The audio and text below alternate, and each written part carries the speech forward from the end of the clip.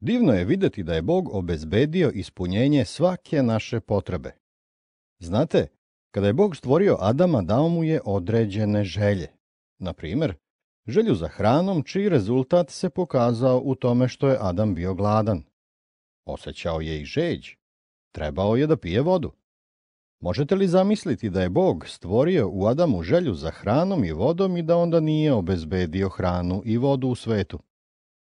Adamov život bi tada bio mučenje, gladan, a nema hrane, žedan, a nema vode. Ali mi vidimo da je Bog obezbedio hranu i vodu pošto je stvorio potrebu za hranom i vodom. Isto je i sa spavanjem ili željom za odmor. Bog se postarao da naša tela automatski teže snu kada smo umorni. Isto je i sa seksualnom željom. Bog je stvorio Adama i Evu, muža i ženu.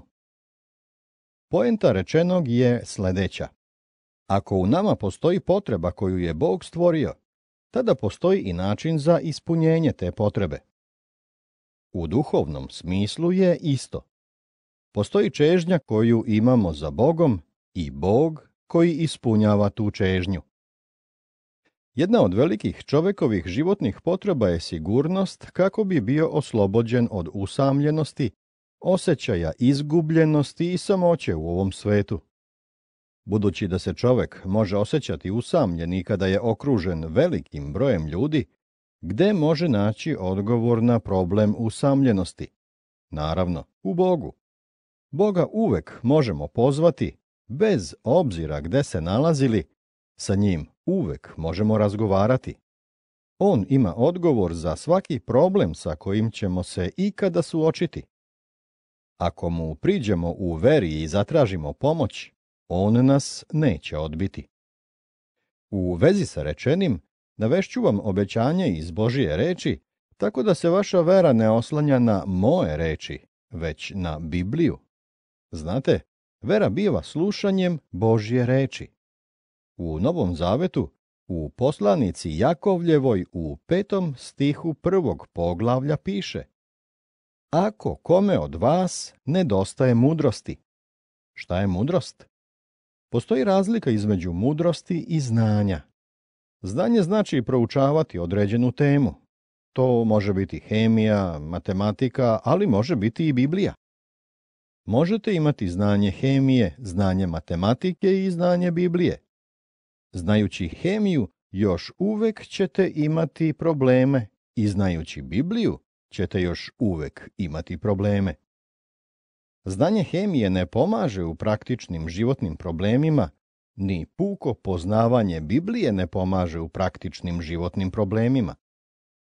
Postoji mnogo ljudi sa dobrim poznavanjem Biblije, biblijskih tema i doktrina, a da su i dalje zabrinuti i napeti, da se i dalje svađaju, raspravljaju i dokazuju, da su i dalje nesigurni, ljubomorni, zavidni i tako dalje.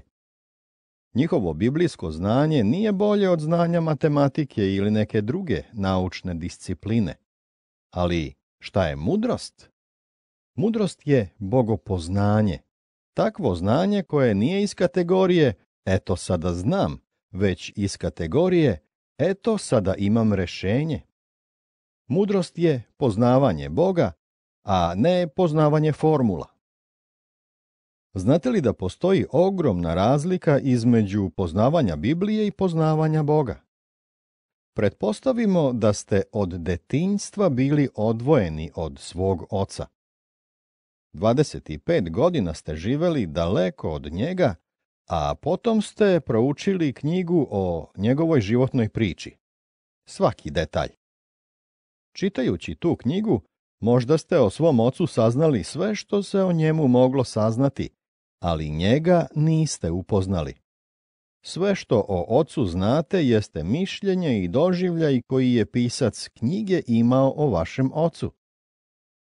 Dete koje, na primjer, nikada nije čitalo knjigu o svom ocu, pa i ne zna mnoge detalje o njemu, zato što je odraslo uz njega, svog oca poznaje mnogo bolje nego vi svog, iako vi o svom ocu znate mnogo više pojedinosti nego ono svom. Dobro, Da se vratimo sada onom stihu iz Jakovljeve poslanice. Ako kome od vas nedostaje mudrosti, šta treba da radi? Neka ište od Boga. Dakle, šta treba da radite? Da ištete od Boga. Možda ste išli od jedne osobe do druge tražeći pomoć od toliko mnogo ljudi i to nije rešilo vaš problem.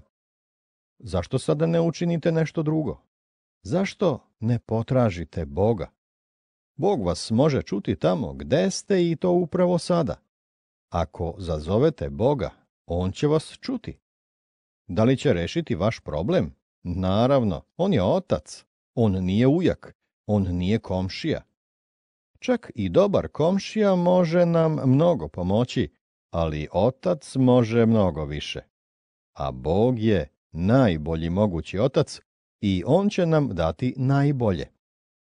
Isus je rekao da ako mi, iako zli, znamo da dajemo dobre darove svojoj deci, koliko više će naš nebeski otac dati onima koji od njega traže.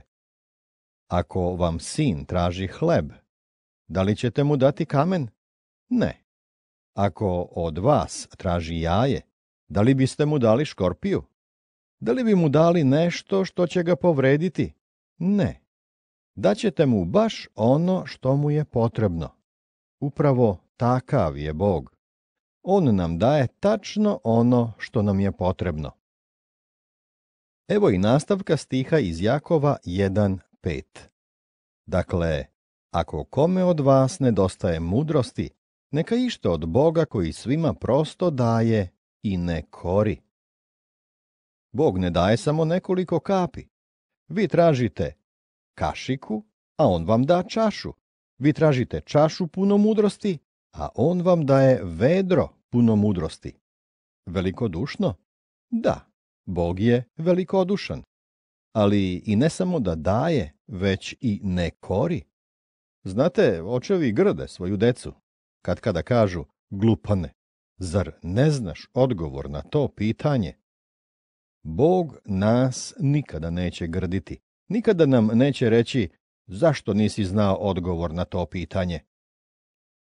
Bog će nam dati, ali njegovo davanje nije bezuslovno. Uslov je da tražimo sa verom. Drugim rečima, možete da ištete mudrost i Bog može želeti da vam daruje mudrost. I potreba je tu i rešenje je tu, ali vi ipak ništa nećete primiti ukoliko ne verujete. Možda je upravo to razlog zašto još uvek niste našli rešenje za svoj problem. Zašto ne biste odlučili još danas, upravo sada, da ćete verovati Božjem otkrivenju koje je Isus doneo? Bog je otac koji zna svaku vašu potrebu. Možda je to potreba za fizičkim zdravljem. Možda je neka duhovna potreba. Možda vam treba rešenje za porodični problem koji traje godinama. Možda nećete moći da rešite ceo problem, ali moći ćete da rešite deo problema koji vas muči. Tražite u veri. Recite, Gospode, od danas ću verovati. Želim da verujem da ćeš ti rešiti moj problem zato što si ti moj otac i zato što me Isus voli i što je umro za mene. Ja sam očišćen u njegovoj krvi, ja sam tvoje dete, imam pravo da to tražim od tebe. Ta, ti si moj tata.